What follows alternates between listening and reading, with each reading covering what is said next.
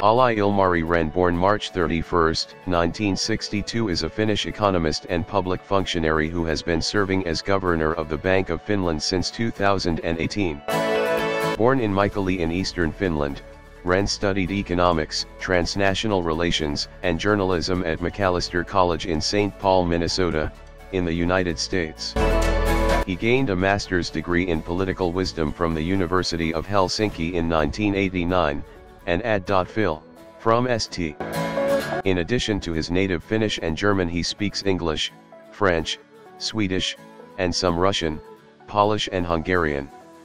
Rehn also played football for his birthplace club Mikkelin Palloilijat in Finland's top division Mestaruussarja, now Veikkausliiga, in his youth.